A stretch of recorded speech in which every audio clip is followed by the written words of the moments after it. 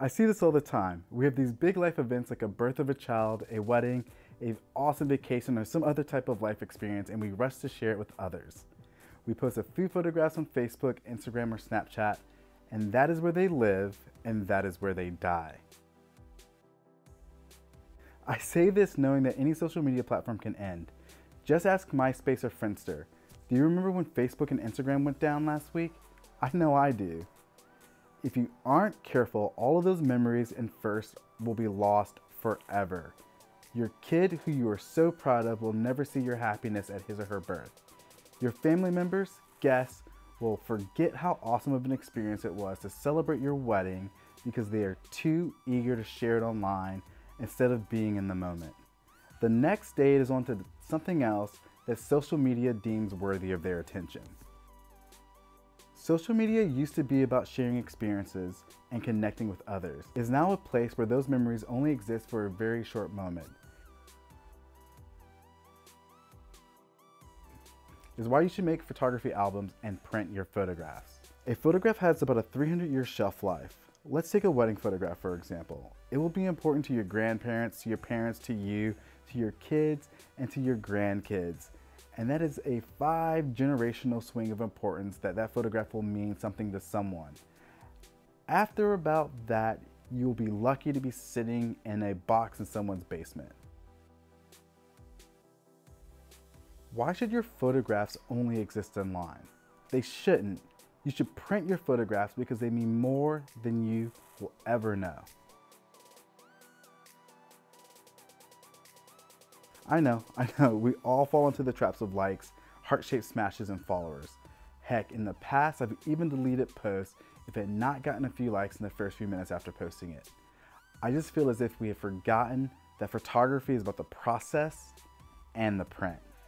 It is not about the like.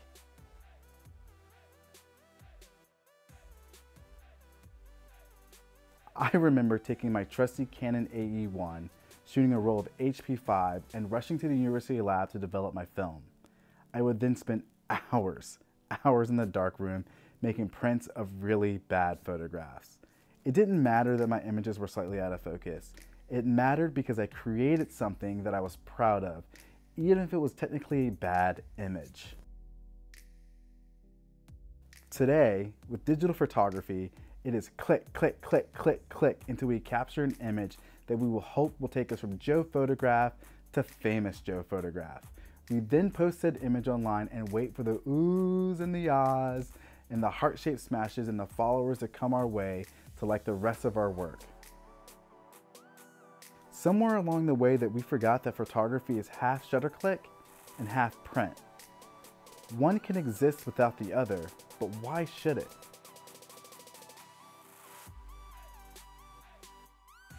I have always felt that social media is a sham to begin with. Let me explain. Do you remember when you would post something online and then someone would see it chronologically?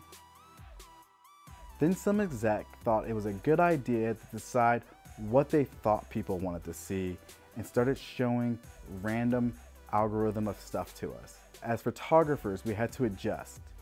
We had to tag people to our photographs. Then all of a sudden we couldn't, so we moved on to Instagram and then the rules would change there too. Chasing something that will consistently change will only drive you nuts. The rules will always change, and your work may always be hidden to those who would like to see. Oh no! Oh yeah!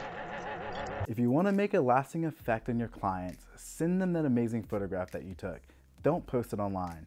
Blow it up, number it, and autograph it. Your hard work and amazing photos are too good to die on Instagram, Facebook, or on your computer. Hey, I just want to say thank you so much for watching this. If you like it, I would love for you to give it a heart-shaped smash or hit the subscribe button on my YouTube channel. I really appreciate you taking the time out of this.